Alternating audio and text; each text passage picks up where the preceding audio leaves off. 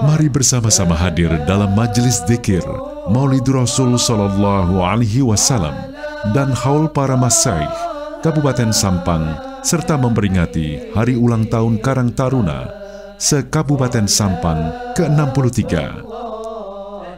Pada hari Senin, tanggal 9 Oktober 2023, dimulai Ba'dal Maghrib hingga selesai di Stikes Sukmawijaya, Sampang Melalui hadir kita di majelis ini, semoga hidup kita akan selamat. Selamat duniawiyahnya, terutama juga selamat ukrawiyahnya. Amin, amin, Allahumma amin.